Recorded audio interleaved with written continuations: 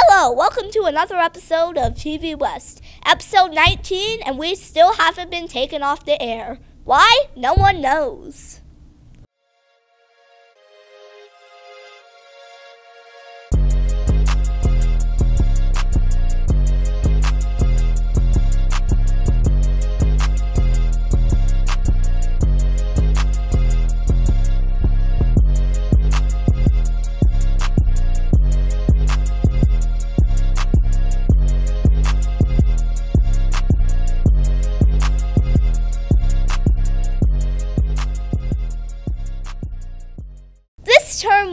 More members into our TV West team. Let's meet the new faces. My name is Brogan Nelson. I joined TV West because I like really I really enjoyed the first part of TV broadcasting. Mr. Bach is a really nice teacher and there's not that many computers that are Apple in the school, so it was kind of cool to have an experience like that. Also, I like to film and editing and I just wanted to feel like I had a part and that I could like make a difference in the school even if it was just at a very basic level. I'm really excited because like there's a lot of like special episodes and I want to see like behind the scenes, you know, like being able to know what is going to be on TV West before it actually is because uh, I do like to watch TV West and being able to be a part of making that content will be a really fun experience, I think. My name is Seiji Aoki. Um, I joined TV West because I've always been interested in film and editing and just everything in the film industry I was really interested in. There's not really one aspect of this where I am most excited for. I, I like everything about um, TV West. My name is Ren Betts.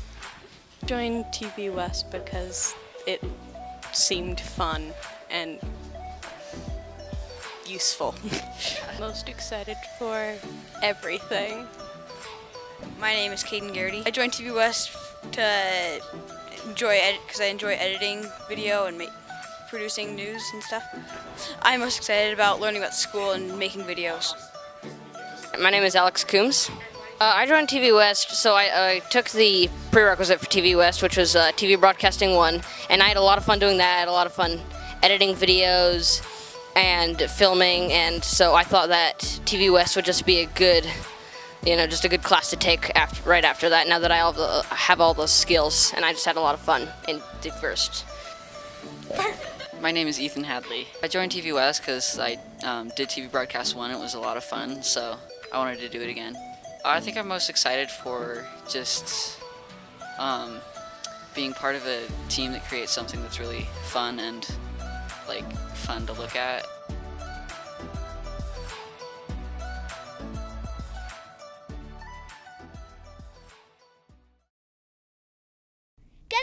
Excited for more unique content. Big reminder, West, all class changes are now $10. Make sure you get all your classes changed by the end of today to make sure you have your schedule ready to go by the end of this year. The Sweetheart Dance is around the corner, West High. We've talked to a student government representative about when and where and how and why it is. All right, so Sweethearts is our next dance coming up here at West High. Uh, the theme this year is Love is in the Air.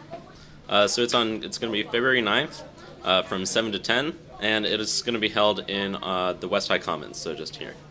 So $10 per couple, $5 per person, unless you come with your data match partner, in which case it's only $5 per couple. So make sure to ask that special someone. Love is apparently in the air with your potential match. Last week, a data match test was distributed to all the classes to be filled out. This data match was to promote the upcoming Sweetheart Dance on February 9th. The results for your matches will be available in the Commons from February 5th to the 8th. It is $2 for matches in your grade and one additional dollar for all the matches in the school. There has been a piece of ham located in the hall right outside the TV West room. We are sending our representatives, Simon and Alvin, to go and find out who did this egregious crime. Find out about the ham in the hall. What's up, West High? I'm Simon Peasley, and today we're doing an investigative report. Not about what's below, but what's up above. Welcome to Ham in the Halls.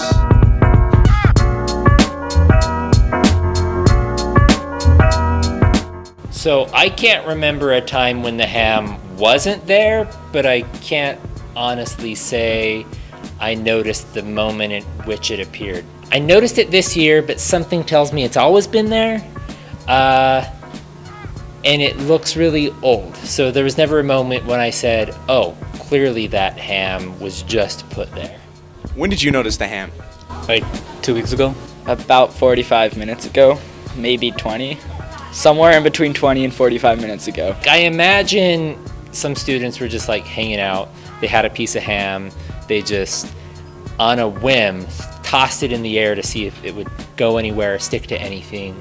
They succeeded, had a few laughs, walked away, and are probably unaware of the legacy that this ham has provided since. I don't know, maybe someone's like choking and like when they spit it back up, it's just like boom, got stuck right up there. I think somebody just threw it up there one day and decided to leave it because it stuck. Oh, I, I want to make another thing like really clear. Like, you can walk past this ham like a hundred times and not know it's there. I think our custodial team does an excellent job. They're just not cleaning off all of the ham from the ceiling tiles, which is understandable. The ham has since been taken down from the hallways, but it will remain always in our hearts.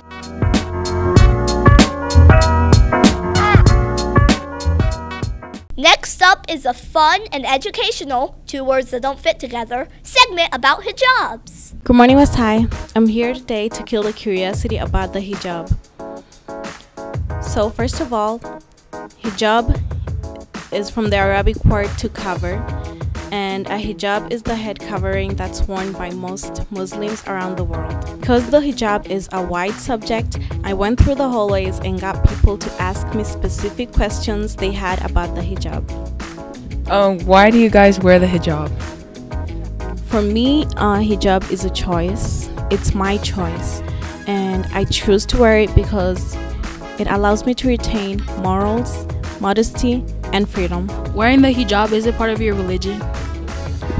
The hijab is part of the religion. It is mentioned in the Quran. The Quran is a religious book, and the hijab is mentioned in there, but it's technically also a person's choice. Are you like required to wear your hijab? Yes, when we're praying, we're required to wear the hijab. So before you pray, you have to wear your hijab and then pray. Okay, uh, what's the proper age to wear a hijab? Um, the proper age to wear a hijab would be 15. So if you're like 14 and below, if you want, you can wear the hijab. If you don't want, it's okay. But the proper age that is required would be 15. Uh, when is a respectful time to take off the hijab? When I'm like at home with my family and my siblings, I don't wear my hijab. Like, for example, when I get from school, when I get home, I take off my hijab. But when I'm going somewhere like shopping, to a hangout, to school, I wear my hijab. How often do you have to keep it on? Like, is it always in public or is it always, um, yeah, I guess in just like in public spaces? Usually, we wear the hijab when we're going outside or when we're around like men who are not your brother, your father, or men who are not related to you. That's when we wear the hijab, or like when we're going outside. I wear my hijab every day when I go to school, every day when I go to hang out, like everywhere I go, I wear my hijab. But when I get home, I take it off because it's only my family at home and people like that. So I usually wear it everywhere but home. And if we have guests, I wear it at home too. Do you wear it to sleep? Uh, No, we don't wear our hijab to sleep. As I said, when I get home, I take it off. And yeah, but you could, if it's your choice, if you wanted to wear it to sleep, it's all you. But we definitely do not wear the hijab to sleep. Well, thanks for watching West. I hope you've learned a thing or two about the hijab. Until next week, have a beautiful weekend. Gear Up is offering an after school program that you might be interested in. Good morning, West High. As most of you know, Gear Up is one of the programs here at West High that helps students with their schoolwork. Well, Gear Up does not only help students during class time, it also has an after school program that may benefit you or someone else you know. Gear Up offers after school tutoring for other students who are busy during school time and other students who need more help. Hi, I'm Sarah from Gear Up, and I'm here to talk a little bit about what we offer for our after school program. Um, we do do tutoring, and that's really great because students can come in after school get their homework done. Uh, a lot of times, students don't have time to get homework done after school hours or even before school, and so this is nice so that they can get it done. And we are here until 4 p.m.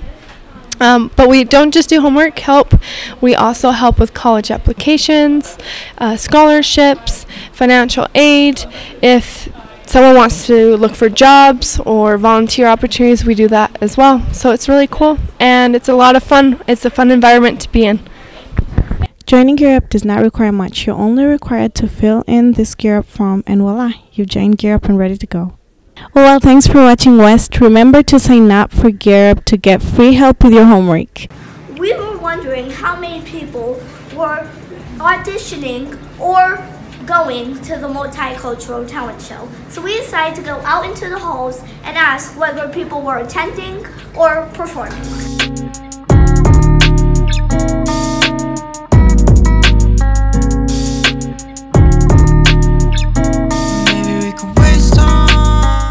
Are you planning on attending or participating in the Multicultural Talent Show?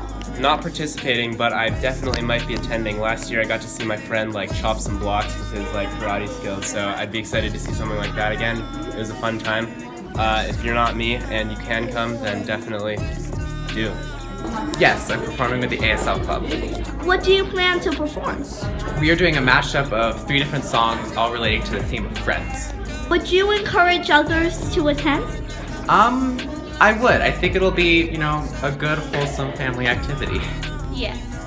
Would you encourage others to come as well? Yes, most definitely, I would. Yes, I oh. am. What do you plan to perform? A cultural Samoan dance. D- would you recommend that others participate or attend?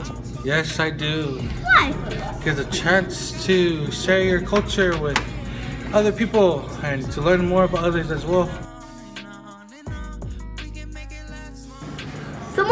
Multicultural Talent Show is January 29th from 7 p.m. to 8:30 p.m. Admission is free and we hope to see you there.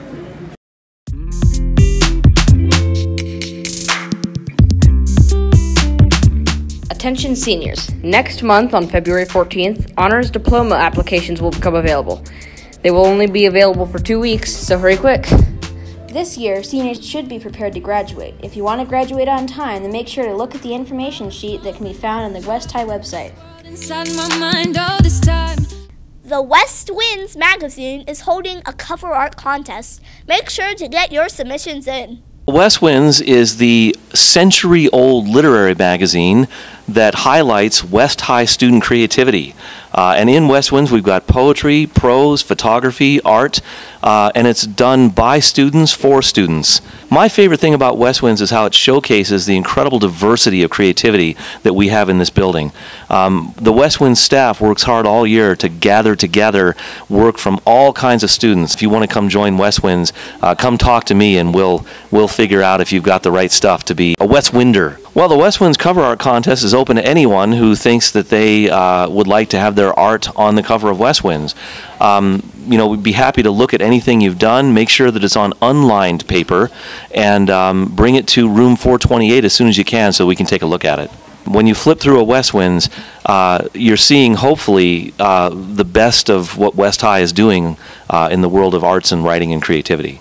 Tastiest time of the week, West. Welcome to the first and unfortunately not the last episode of Cooking with Connor.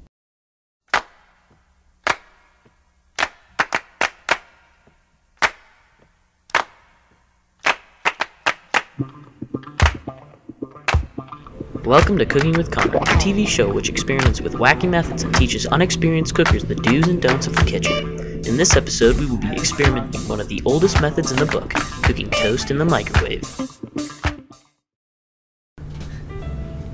Alright, so we have our bread and we have a paper towel. We're going to put bread on the paper towel and open the microwave. Put the bread on the paper towel in the microwave and close the microwave. And we're gonna set this to 30. Start.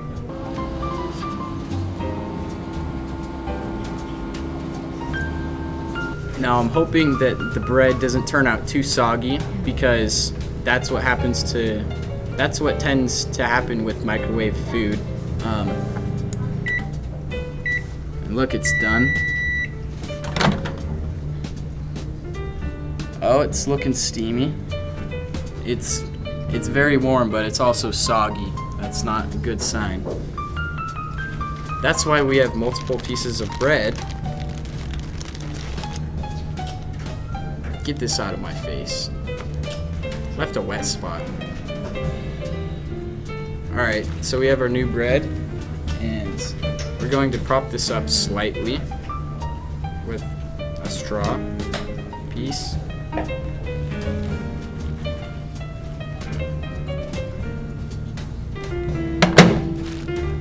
And we're gonna heat this one for 20 seconds.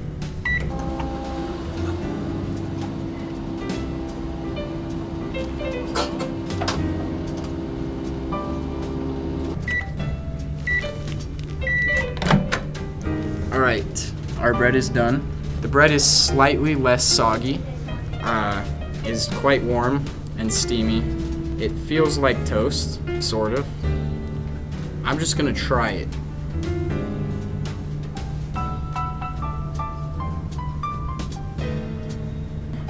Kind of soggy and soft. Uh, I think I prefer um, toasted bread to microwave toast. Let this be a warning to you, uh, people trying to microwave bread. Well, that's been another accident in the kitchen to round up this episode of TV West. Thank you and good night.